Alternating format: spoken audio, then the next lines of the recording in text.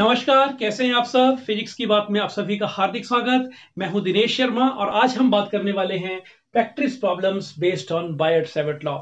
पिछले तीन लेक्चर्स में हमने मैग्नेटिक इफेक्ट्स ऑफ़ करंट में बायट सेवेट लॉ की बात की कि छोटे से करंट एलिमेंट के कारण किसी पॉइंट पर मैग्नेटिक फ़ील्ड कितना होता है। और हमने फिर बायट सेवेट लॉ के एप्लीकेशन किए मेनली तीन एप्लीकेशन किए। एक current carrying long straight conductor होगा, उसके कारण कहीं फ़ील्ड कितना होगा। और एक सर्कुलर करंट कैरिंग वायर के एक्सिस पे कोई पॉइंट हो, उसके ऊपर मैग्नेटिक फ़ील्ड कितनी होती है, उसकी डायरेक्शन क्या होती है, उस लूप के सेंटर पे कोई पॉइंट हो, वहाँ पे फ़ील्ड कितनी होती है, डायरेक्शन कैसे निकालते हैं राइट हैंड थंब रूल की बात की थी। तो ये सारी बातें हम अभी तक कर चुके हमने बात की थी वाइट सेवर्ट लॉ की और इस पॉइंट पे ये फ़ील्ड था। फिर हमने बात की लूप की।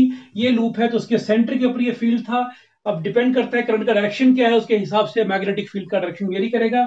और फिर हमने बात की किसी लूप के एक्सिस पे किसी पॉइंट पे फ़ील्ड कितना होगा। करंट की इस डायरेक्शन के लिए मैग्नेटिक फ़ील्ड इधर को है and if you reverse the direction of current तो फ़ील्ड उधर को होगा, जैसा हमने कल आर्टिकल में किया था, और हमने मैग्नेटिक फ़ील्ड को डिराइव भी किया था। और इस लूप में करंट का डायरेक्शन जो मर्ज़ी हो magnitude of the magnetic field will remain same only direction will differ if the current is reversed और फिर हमने बात की थी कि यदि किसी लूप के सेंटर पे ये फ़ील्ड है तो उस लूप की जगह क्वाइल होगी तो क्वाइल के सेंटर पे कितना फ़ील्ड होगा? और किसी क्वाइल के एक्सिस पे कोई पॉइंट हो, वहाँ पर मैग्नेटिक फ़ील्ड निकालनी हो तो लूप के फॉर्मूला को ही एन से मल्टीप्लाई कर देते हैं and we get the formula for the magnetic field here आज हम इन्हीं फॉर्मूले के ऊपर बेस्ड कुछ एप्लीकेशन कुछ प्रैक्टिस प्रॉब्लम करेंगे। तो आइए शुरू करते हैं। तो पहले क्वेश्चन में हमारे पास एक आर्क है, और उस आर्क में से करंट जा रहा है, मान लीजिए आई और इस आर्क के कारण यहाँ इस सेंटर के ऊपर कितना फ़ील्ड होगा? अब ये आर्क भी इसी सर्कल का पार्ट है। मान लो ये लूप पूरा होता, जिसका रेडियस पता होता हमें आर और करंट आई पता है। और मान लीजिए कि लूप का रेडियस आर है तो ए ओ या फिर बी ओ कुछ भी कह लीजिए, ये हो गया आर तो अब इस पॉइंट ओ पर पूरे लूप के कारण कितना फ़ील्ड होता? है B naught was equal to mu naught I divided by two r सही बात? और यदि पूरा लूप नहीं है, ये थोड़ा सा है पार्शियल है तो क्या होगा? तो जितना एंगल है, हमें उसका पता करना पड़ेगा। तो सर्कल में पूरा एंगल होता है 360 का, और ये थीटा है। So what is field in that case this field will be equal to theta by 360 of this mu naught I divided by 2r तो ये हो गया magnetic field at the center due to this arc मान लीजिए ये arc होती semi circle तो semi circle के लिए what is angle this is 180 degree so in that case 180 by 360 तो 1 बाई टू यानी पूरे सर्कल का यदि मैग्नेटिक फ़ील्ड मान लीजिए फोर टेस्ला है, मान लीजिए तो आधे लूप का जो फ़ील्ड होगा, वो टू टेस्ला रह जाएगा। तो उसी पैटर्न पे एक और क्वेश्चन है कि हमें यहाँ पर पॉइंट पी के ऊपर मैग्नेटिक फ़ील्ड निकालना है, और ये है cause of the magnetic field यानी करंट जा रहा है इस वायर में से और इसके कारण पॉइंट पी पे कितना फ़ील्ड होगा वो हमें निकालना है। देखिए, यहाँ पर ये जो वायर है, मानो ये ए बी कहता हूँ इसको, मैं इस सेक्शन को, इसको बी सी कह दू, इसको सी डी कह दू तो ए बी वायर की बात करता हूँ तो मैं इसको रीड्रॉ करूँ, ये हमारी ए बी वायर है। इसमें जो डायरेक्शन डी एल वेक्टर का है, वही डायरेक्शन आर का है। Can you agree r is the displacement vector with joins d l with the point और पॉइंट कहाँ पे है? उसी लाइन के ऊपर on the axial line of this wire that mean ये है वेक्टर आर और ये है डीएल एंगल ज़ीरो डिग्री हो गया इनके बीच में। That mean dl vector cross r vector zero हो जाएगा। तो सीधी सी बात है करंट कैरिंग कंडक्टर के सेम लाइन में हर एक पॉइंट पे मैग्नेटिक फ़ील्ड ज़ीरो होता है। So let us write magnetic field to A B is equal to zero और इसी तरह से सी डी के कारण भी इस लाइन के ऊपर फ़ील्ड ज़ीरो होगा। So magnetic field due to C D is also zero अब बात रहेगी magnetic field due to B C part जो आर्क है, इस आर्क के कारण कितना फ़ील्ड होगा? क्या कहे थे अभी formula this is mu naught I divided by two r this is the formula यदि यहाँ पर पूरे का पूरा सर्कल होता, पूरा लूप होता तो। लेकिन यहाँ पर एक सेक्टर है सिर्फ़, और उसका एंगल कितना है? 30 degree so what is B this is 30 degree divided by 360 degree right तो ये हो गया one by twelve of mu naught I divided by two r value put करिए आंसर निकल जाएगा। So B comes out to be 1 by 12. What is mu naught? This is 4 pi into 10 raised power minus 7 units. What is current? It is given 3 ampere divided by 2 times radius. And what is radius? 0.6 meter. Equation को solve करेंगे और हम इस point के ऊपर magnetic field निकाल सकते हैं इज़ इट क्लियर अब इस क्वेश्चन में लूप ए ई डी सी ए के कारण पॉइंट पी पे कितनी मैग्नेटिक फ़ील्ड है हमने उसकी बात करनी है यहाँ ईडी एक आर्क है जिसका एंगल थीटा सी ए भी एक आर्क है एंगल थीटा और ये डी सी और E A these are straight conductors तो यहाँ यदि ई e से डी करंट आ रहा है तो फिर डी से सी जाएगा, और सी से ए और ये ए से सी ज़ाहिर सी बात है, यहाँ लूप में कहीं ना कहीं बैटरी भी होगी, तभी करंट चल रहा है ये. ओके सबसे पहले बात करते हैं कि what is the magnetic field due to DC सोचिए ड्यू टू डीसी कितना फ़ील्ड होगा? ज़ीरो क्यों? पॉइंट पे ये है और ये सेमी लाइन के ऊपर है। इसी पैटर्न पे magnetic field due to this A ये भी कितना हो गया? ज़ीरो अब बात रहेगी दो आर्क्स की। एक है आर्क ईडी e और एक है arc C A arc ED के अलॉन्ग यदि हम राइट हैंड थंब रूल की बात करें तो this is the direction of current that will magnetic field that will point inward right यानी ईडी e के कारण मैग्नेटिक फ़ील्ड का डायरेक्शन अंदर को है और सी ए के कारण ना सी ए ये हुआ, इसके कारण फ़ील्ड का डायरेक्शन बाहर को है। यहाँ पर दो मैग्नेटिक फ़ील्ड हैं, एक ईडी e के कारण और एक सी ए के कारण, और दोनों एक दूसरे को अपोज कर रही है। अच्छा हु विल डोमिनेट जो बड़ी होगी। बड़ी कौन है? तो हमने क्या कहा था कि सेंटर के ऊपर, ये पॉइंट इस आर्क के और इस आर्क दोनों के सेंटर पे है ना? तो बी नॉट होता है mu naught I divided by two r यानी जिसका रेडियस कम होगा, वो मैग्नेटिक फ़ील्ड ज़्यादा होगी। तो क्योंकि यहाँ पर पी ए रेडियस कम है तो आर्क सी ए के कारण यहाँ मैग्नेटिक फ़ील्ड ज़्यादा होगी, हम देख रहे हैं। और जहाँ रेडियस ज़्यादा है, वो फ़ील्ड कम हो जाएगी। इसके कारण जो फ़ील्ड है, उसको B1 कहा जाए। So what is the magnetic field due to this arc C A that will be equal to theta divided by two pi क्यों? थीटा इसका एंगल है, और टू पाई होता है पूरे सर्कल का angle into mu naught into I जो I यहाँ पर है, वही यहाँ वही यहाँ है। Abbreviated is I I divided by two r, two times radius, यानी जिस सर्कल का ये आर्क पार्ट है, उस सर्कल का रेडियस कितना होगा? तो ये हुआ पी ए दैट मीन वो ए है this is two times a और इसका डायरेक्शन कहाँ को हुआ? So this magnetic field b1 is directed outward. You can write here that this field is directed outward. इसी पैटर्न पे बात करेंगे दूसरी मैग्नेटिक फ़ील्ड की, इसकी ईडी के कारण जो फ़ील्ड होगा।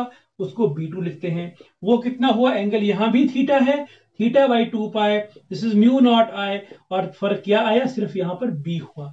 Radius in that case is B और यहाँ ये जो फ़ील्ड है this is directed inward you can see ये हुआ हमारा डायरेक्शन करंट का तो curl of finger along current और थम गया inward so this is directed inwards and now we should write as as v1 is more than b2 so what is net field?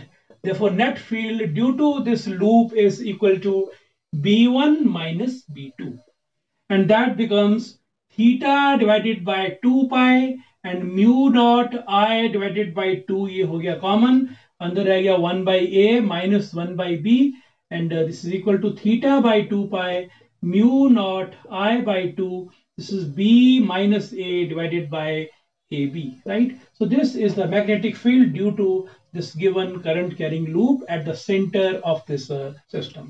अब इस question में हमारे पास एक coil है जो कि कोऑर्डिनेट सिस्टम के ओरिजिन पे पड़ी हुई है। तो हम कोऑर्डिनेट सिस्टम को इमेजिन करते हैं और मानिए ये एक्स एक्सिस है ये वाई एक्सिस और ये जेड एक्सिस और क्वाइल का एक लूप लेते हैं और ये हो गया वो लूप हम क्या करेंगे? हम पहले लूप के कारण किसी पॉइंट पे फ़ील्ड निकाल लेंगे उसको एन नंबर ऑफ़ टर्न से मल्टीप्लाई कर देंगे तो हमें टोटल फ़ील्ड मिल जाएगा। तो ये है ओरिजन और क्वाइल का सेंटर ओरिजन के साथ कोइंसाइड कर रहा है। अब बात हुई कि इसमें कितना करंट जा रहा है। Current is two by pi ampere साथ में number of turns in coil is 100 radius is given to be 20 centimeter जिसको हम 0.20 मीटर कह सकते हैं। कोऑर्डिनेट्स ऑफ़ दैट पॉइंट जहाँ पर मैग्नेटिक फ़ील्ड निकालना है। एक्स कोऑर्डिनेट भी ज़ीरो है वाई कोऑर्डिनेट भी ज़ीरो है only z coordinate is given that means यदि कॉइल हमारी, यदि हमारा लूप ये एक्स वाई प्लेन में है तो जेड एक्सिस की तरफ़ को होगा वो point that mean this point is lying on the z axis और डिस्टेंस कितना हुआ? तो डिस्टेंस हुआ ये x और x का वैल्यू हो गया 20 root three centimeter so x in our case is 20 root three centimeter इसको SI में कन्वर्ट करेंगे तो 100 से डिवाइड करेंगे.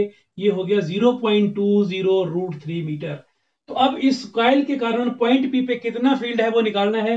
That magnetic field B will be equal to what is the formula mu naught I r square divided by two into x square plus r square power three by two ये था single loop के कारण।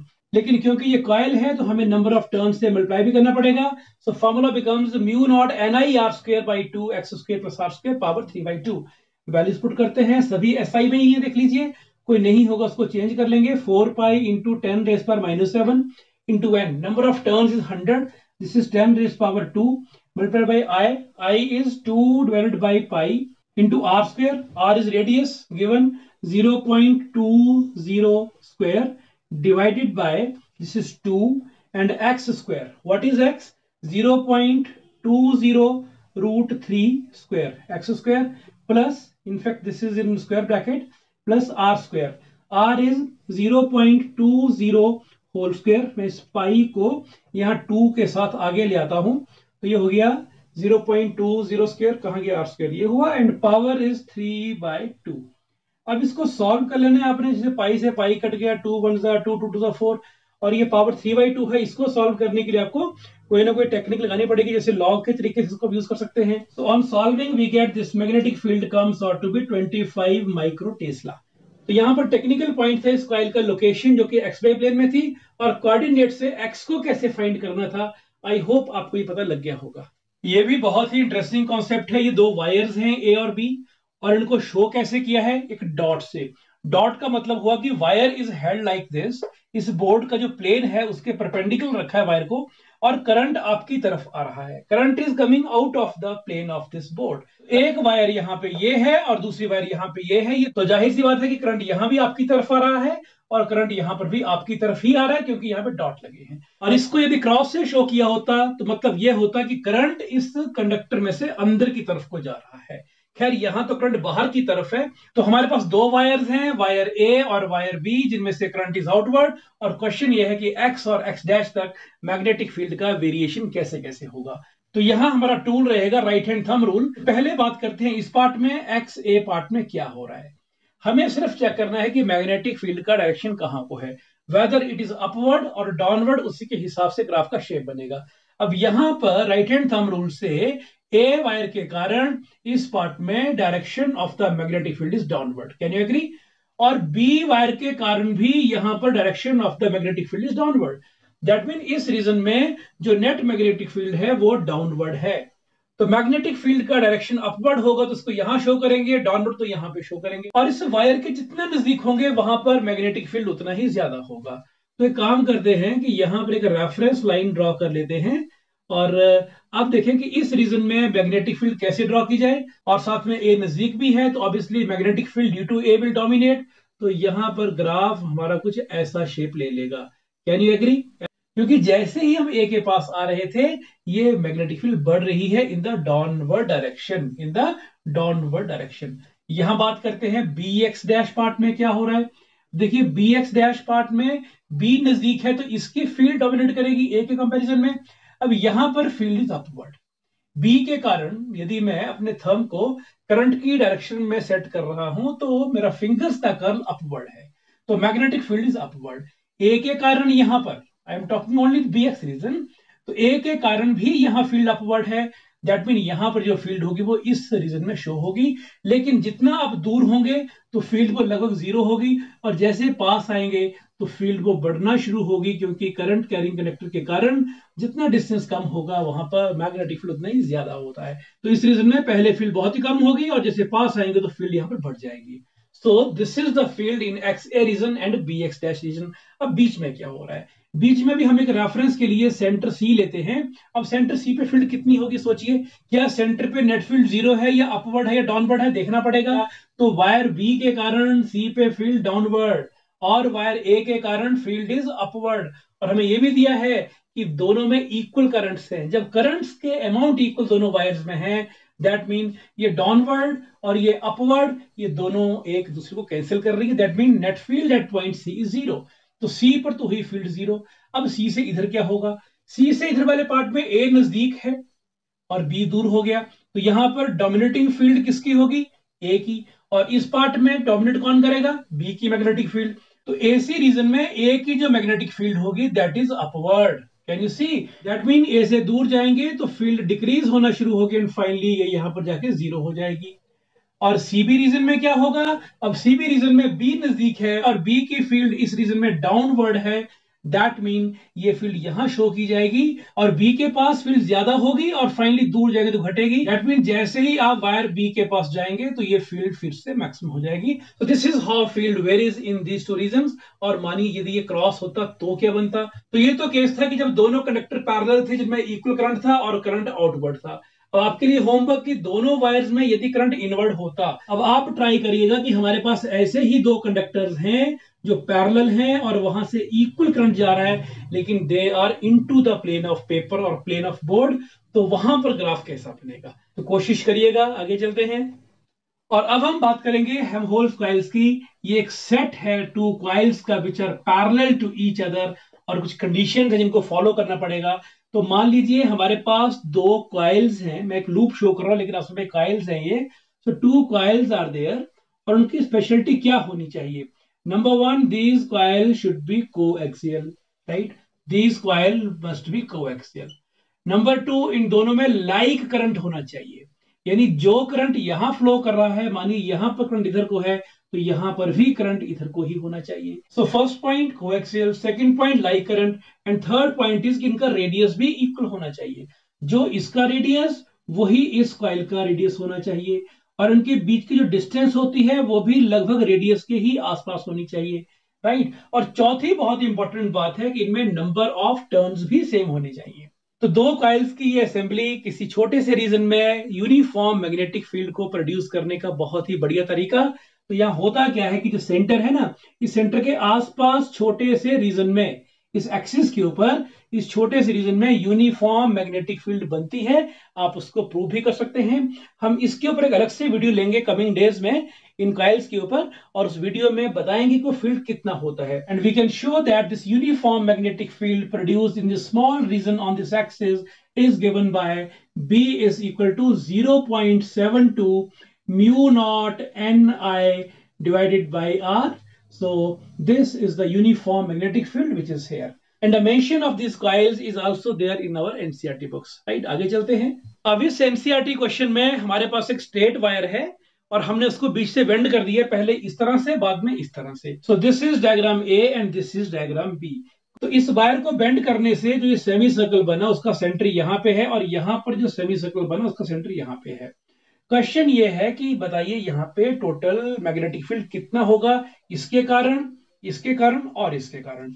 Same यहाँ पे field कितना होगा? इसके कारण इसके कारण और इसके कारण राइट तो इस वायर को थोड़ा घुमा के हम इस बैंड को ऊपर से नीचे शिफ्ट कर दें। तो क्या मैग्नेटिक फ़ील्ड के मैग्नीट्यूड पे या उसकी डायरेक्शन पे फ़र्क पड़ता है या नहीं, हमने ये जानने की कोशिश करनी यहाँ पे। अब देखिए इस पॉइंट पर, मानिए ये ओ पॉइंट है, इसके कारण, इस स्टेट सेगमेंट के कारण नेट फ़ील्ड कितना होगा? हमने बात पहले भी की थी net field will be zero क्योंकि इस स्टेट पार्ट में D L vector cross R vector zero होगा। क्योंकि इन दोनों के बीच का एंगल कितना हुआ? ज़ीरो डिग्री ये है कहीं डीएल वेक्टर मान लो मैं यहाँ लेता हूँ, और यहाँ से इसको जोड़ेंगे तो वही आर वेक्टर है। दोनों का डायरेक्शन सेम होगा एंगल थीटा ज़ीरो तो इनका क्रॉस प्रोडक्ट भी ज़ीरो हो जाएगा। दैट मीन इस स्टेट पार्ट के कारण भी नेट फ़ील्ड यहाँ पर ज़ीरो हो जाएगी, और यहाँ पर भी इस स्टेट पार्ट के कारण नेट फ़ील्ड ज़ीरो और इसके कारण भी नेट फ़ील्ड यहाँ पर ज़ीरो होगी। दैट मीन कोई भी स्टेट पार्ट हमारी मैग्नेटिक फ़ील्ड में कंट्रीब्यूट नहीं करेगा। अब आते हैं इस सेमी सर्कल पे। तो करंट की डायरेक्शन के अलोंग यदि फिंगर्स का कर्ल रख दिया जाए तो क्योंकि थम इनवर्ड है तो यहाँ पर हमारी मैग्नेटिक फ़ील्ड का डायरेक्शन होगा इनवर्ड और एक और ढंग से देखिए तो यहाँ पर जो D L cross R vectors हैं तो एक छोटा सा यदि यहाँ पर मैं डीएल एलिमेंट लेता हूँ, उसके कारण यहाँ पे नेट मैग्नेटिक फ़ील्ड अंदर की तरफ़। अगला पार्ट अगला पार्ट अगला पार्ट सभी के कारण जो नेट फ़ील्ड होगी वो अंदर की तरफ़ ही होगी। दैट मीन्स जितने भी ये डी एल क्रॉस आर हैं, यानी जितने भी छोटी छोटी फील्ड्स हैं जो डी एल क्रॉस आर के अलोंग हैं that means perpendicular to this plane है, वो सारी इनवर्ट्स होंगी। और ये मैग्नेटिक फ़ील्ड कितनी होगी तो फुल लूप के लिए, यदि ये लूप फुल होता तो मैग्नेटिक फ़ील्ड होती है mu naught I divided by diameter लेकिन ये हाफ़ लूप है तो उसको मल्टीप्लाई करेंगे हम 180 डिग्री डिवाइडेड बाय 360 डिग्री माने 1 बाई टू से, या फिर pi radian divided by two pi radian क्योंकि सेमी सर्कुलर लूप के लिए जो एंगल है, या वो पाई रेडियन है, या 180 डिग्री है। पाई रेडियन को डिवाइड करेंगे टू पाई से तो ये हो गया one by two multiplied by this formula becomes B is equal to mu naught I divided by four R So this formula can be used to find the magnetic field at the center due to a semicircular arc. यहाँ चलते हैं। यहाँ पे क्या हो रहा है? तो इन दोनों की तो मैग्नेटिक फ़ील्ड ज़ीरो हो गई थी।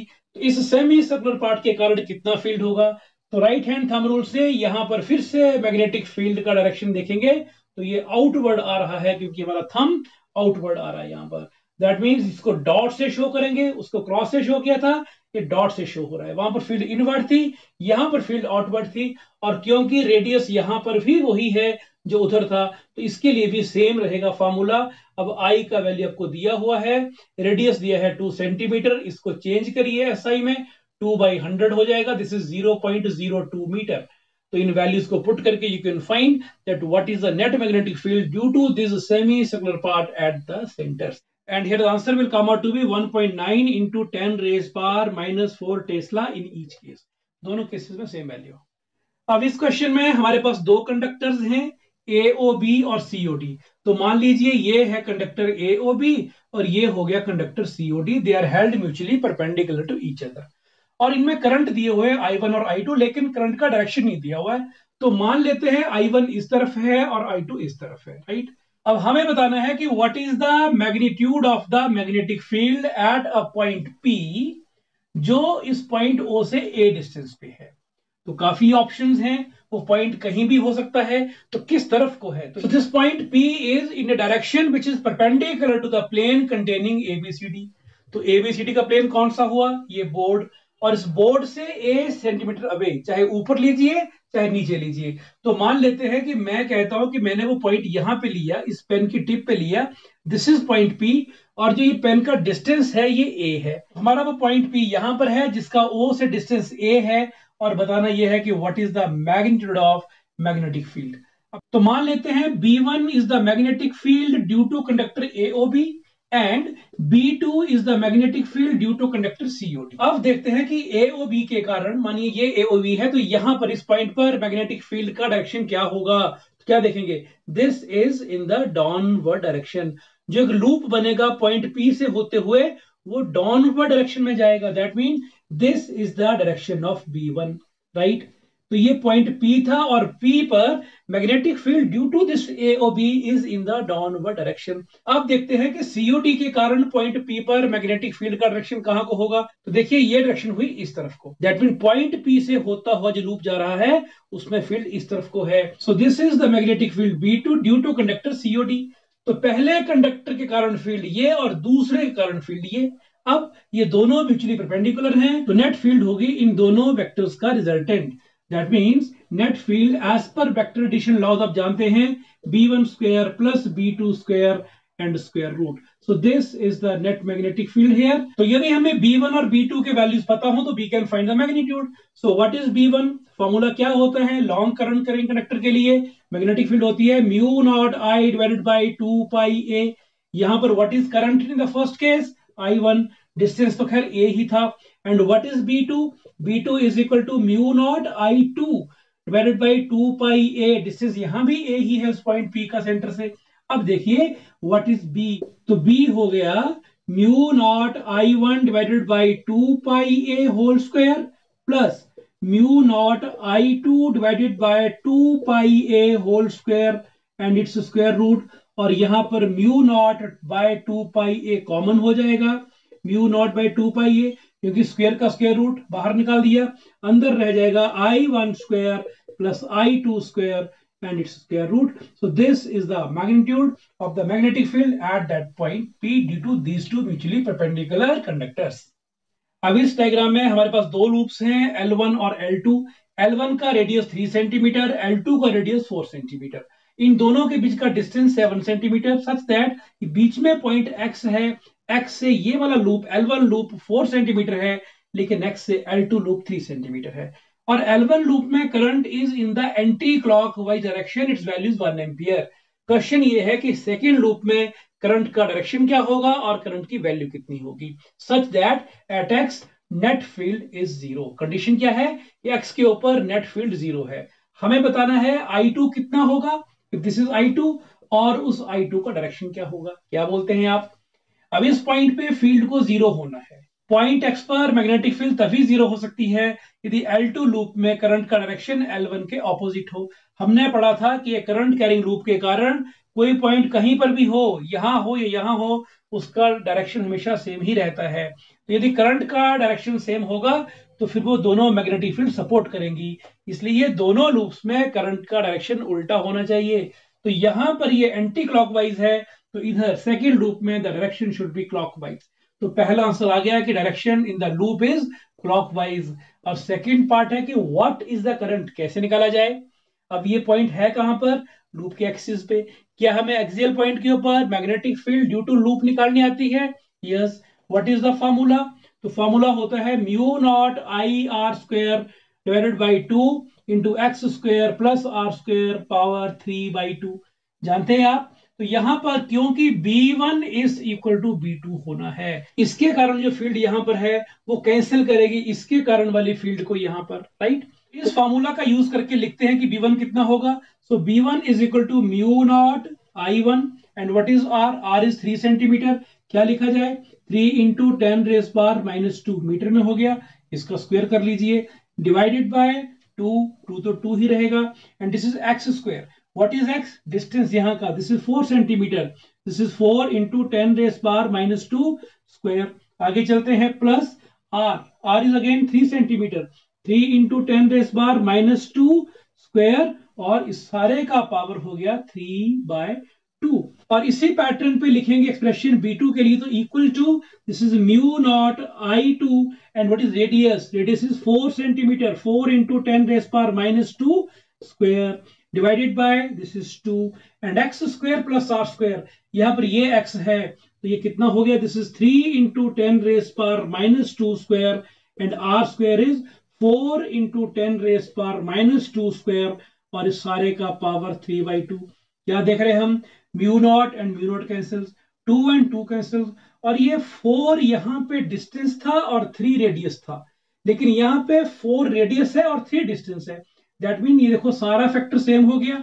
And we are left with I one into three into ten raise power minus two square and that is equal to I two into four into ten raise power minus two square I one हो गया one ampere ten power minus four ये भी cut जाएँगे क्योंकि multiplication में है. तो यहाँ पर आ गया nine is equal to sixteen I two so I two comes और to be nine by sixteen ampere and that becomes 0.56 ampere. This is all in this question.